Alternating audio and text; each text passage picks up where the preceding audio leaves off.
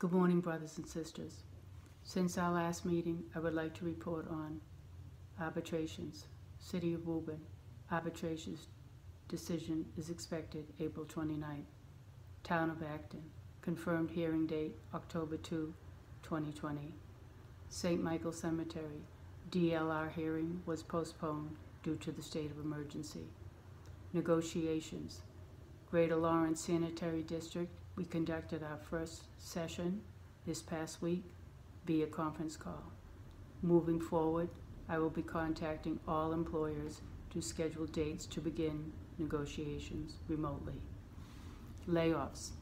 As a result of the federal stimulus package, nationally, thousands of Gate Gourmet and Axe Aviation members will potentially receive benefits. We are working closely with both companies to ensure we approach the coming months with a primary plan as these federal monies roll out and impact our members. Essential workers. I would like to take some time to highlight the outstanding brothers and sisters who are on the front line.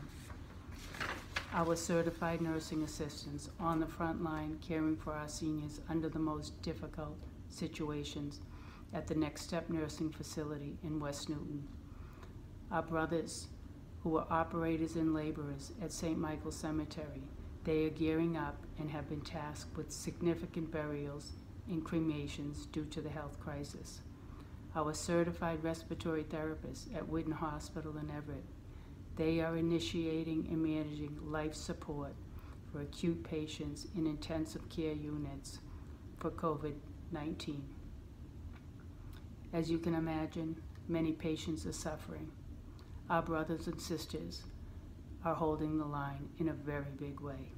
Their only ask is that people make cards, get them to the patients in hospitals and facilities. The greatest tragedy is that patients and seniors are alone.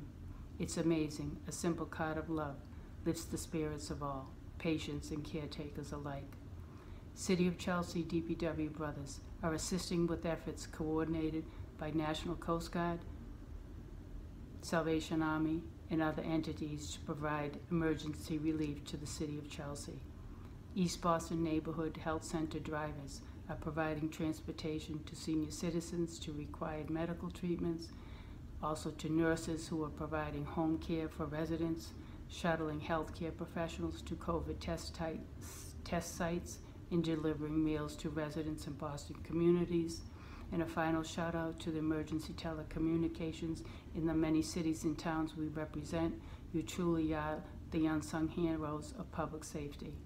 In closing, thank you to all our brothers and sisters for your courageous strength and unselfish dedication. Continue to reach out to those in need. Thank you. Joan Corey, Business Agent.